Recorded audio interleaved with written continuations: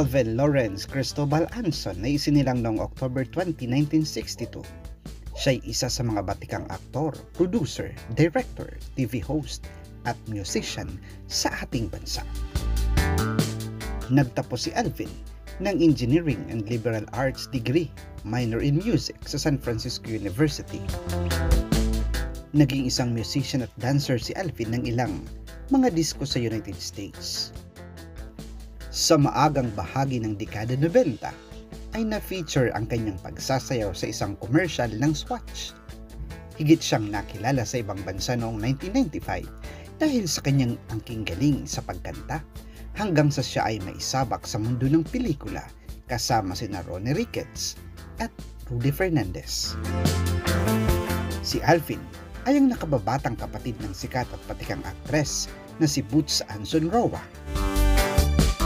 Napabilang si Alvin sa mga sikat na pelikula gaya ng Goyo, ang Batang General, bilang si Jose Alejandrino, Ways of the Cross, Expressway, at Showdown in Manila.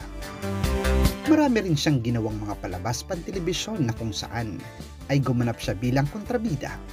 Ilan sa mga ito ay ang Ang Sayo ay Akin bilang si Ramon Villarosa, Sino ang May Sala bilang si Yandro Torres, at maging sa katatapos na ang probinsyano bilang si Alvaro.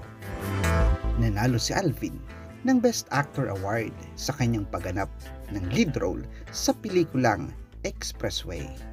Iginawa dito sa kanya noong 2016. Hindi gaanong bukas sa publiko ang buhay ni Alvin dahil bibihirang makita sa kanyang mga social media accounts ang mga larawan ng kanyang pamilya. Mayroong dalawang anak si Alvin. Ito ay sina Aliana at Kayla Anson. Kakikitaan naman ng mga ganda ang magkakapatid na namanan nila sa kanilang mga magulang. Mag-subscribe sa aming YouTube channel para sa mga videong kahihiligan ninyong panuorin.